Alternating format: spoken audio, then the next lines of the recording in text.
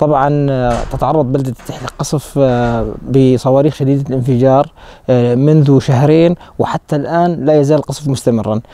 طبعا هذا القصف بصواريخ شديدة الانفجار أدى إلى وقوع ضحايا في صفوف المدنيين وقع شهيدان وعدة جرحى وأيضا أدى إلى دمار هائل في البنى التحتي من منازل سكني ومحلات تجارية وقد طال القصف المنشآت العامة وبعض المساجد.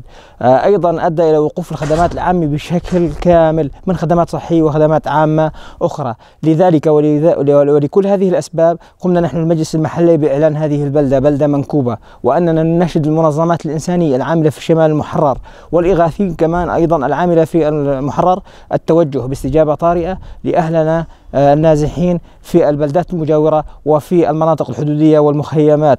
وأهم المتطلبات هي آه، أغطية وألبسة وخيم وطوارئ ومواد غذائية.